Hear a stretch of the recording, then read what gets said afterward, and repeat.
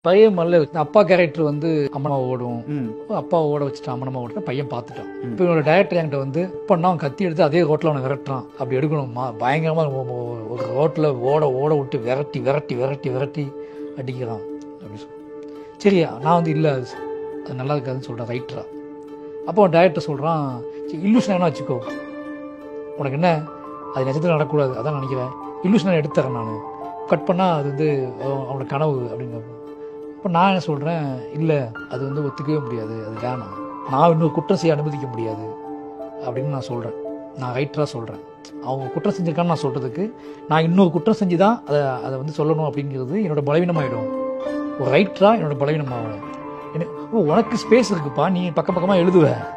ஆனால் சினிமாவில் அதுக்கு ஸ்பேஸ் கிடையாது. உடனே காட்டி ஆகணும் அப்படின்னு சொல்லிட்டு என் டயர்ட்டை சொல்லுவான். அப்போ நான் சொல்லுவேன் ரைட்டரா சரி அவனுக்கு இப்போ என்ன பிரச்சனை? அவன் ஒரு மகனா அதுக்கு என்ன ரியாக்ட் பண்ணான்னு நீ கேட்குற ஓகே அவன் ஒரு கத்தி எடுத்து அவங்க அம்மா வந்து பிடிச்சாங்க. அவங்க அம்மா வந்து அவனை அடிச்சாங்க. கத்தி தூக்கி பிடிக்கி உள்ள வச்சாங்க. அப்போ குற்றம் செய்ய தோணுன இடத்துல ஒரு பியூரான ஒரு ஆன்மா வந்து அதை தடுத்து நிறுத்திடுச்சு அப்படின்னு நான் எழுதி தரேன் உனக்கு அப்படின்ட்டு. அப்படி நான் எழுதி கொடுக்குறேன் என்னோட டைரக்டருக்கு இந்த டைரக்டரை கன்வின்ஸ் ஆகிடுவான் டைரக்டர் கன்வின்ஸ் ஆகி அதை எடுத்துட்டான்.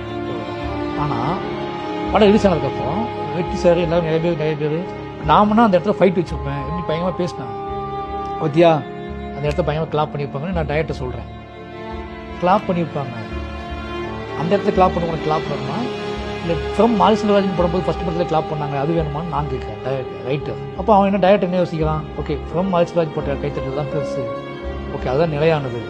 ஒரு சீனுக்காக கைத்தட்டல் வேணுமா? ஹோல் படத்துக்கு கைத்தட்டல் வேணுமா நான் யோசிச்சுக்கிறேன் அப்படின்னு நான் சொல்கிறேன் இந்த டிஸ்கஷன் நடந்துகிட்டே இருக்கும் உங்களுக்கு உங்க வாழை படத்தோட பிக்கஸ்ட் பிஆர் யார் தெரியுமா. யார் சந்தோஷ் நாராயண். ரெண்டு வருஷமா.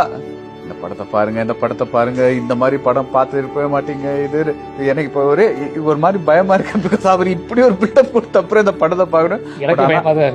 அவர் வந்து அவ்வளோ நான் சொல்றேன் அவர் நிஜமாவே ரொம்ப இல்ல உங்கள்ட்ட ஓப்பனா சொல்லிடுறேன். ரொம்ப எளிமையான படம். இந்த இந்த படத்தோட கதையை எப்படி சொல்லலாம் இது தண்ணி பியூரா இருக்குல்ல. ஒண்ணுமே இல்ல. நார்மல் தண்ணி தானே அப்படிங்கிற மாதிரி இருக்குல்ல. இதை குடிச்சிட்டு நான் செத்துட்டேன்னா என்ன நினைப்பீங்க? இது சீல் உடைக்கல. சீல்லாம் உடைக்கல. தண்ணி நார்மலாக இருக்கு. அப்புறம் நான் ரொம்ப கான்ஃபிடண்டாக எடுத்து குடிச்சிருவேன் அதை. நீங்களும் அதை அலோவ் பண்ணிட்டீங்க. இப்போ நான் குடிச்சு முடிச்சோடனே இதை செத்துட்டேன். அப்புறம் உங்களுக்கு பெரிய அதிர்ச்சியும் ஏற்றுக்க முடியாத விஷயம் இந்த மாதிரி ஒரு கதை தான் அது. ரொம்ப பியூரான ரொம்ப எளிமையான ரொம்ப என்ன சொல்றது. நம்ம அந்த மாதிரி ஒரு கதை அது. கதையை அப்போ தான் சொல்லணும் உங்களால் அதை நம்பவும் முடியாது ஜீனிக்கவும் முடியாது. ஆனால் உங்களை வந்து அது டிஸ்டர்ப் பண்ணும். உடுத்தும். அவளை. இது ரொம்ப ஆடம்பரமாக ரொம்ப பயங்கரமாக எப்படி வைக்கும்போது ஷார்ட் அப்படிலாம் எடுக்கப்பட்ட கதை கிடையாது அவ்வளோதான் இந்த கதையோட. அதை ஏன் இந்த இடத்துல சொல்கிறேன் அப்படின்னா நீங்கள் மாரி செல்வாஜ் அப்படி எடுப்ப இது அப்படி இது இந்த கதை அவ்வளோ சா ஒரு கதை ஆரம்பிச்சா ஒரு படம் ஆரம்பிச்சா அது ஒரு பதினஞ்சு நிமிஷத்துல அதோட டோன் என்ன நம்மளுக்கு தெரிஞ்சிரும்ல. ஸோ நீங்க என்னதான் முன்னாடி எடுத்திருந்தாலும் இந்த படத்துக்கான டோன் அப்படின்ட்டு அந்த டிராவலில் தானே நம்ம போனோம். அப்படி போகணும் ஆனால் எல்லாரும் அப்படி வர மாட்டாங்கல்ல எல்லாரும் என்ன வாங்கினா உள்ளே ஆரம்பித்த உடனே எங்கள் கதை எங்கே? புரியல. பத்து அஞ்சு நான் புத்தகம் நாவல் படிக்கும்போது கதை எங்கன்னு பத்து பக்கத்தில் கேட்க மாட்டேன்றீங்க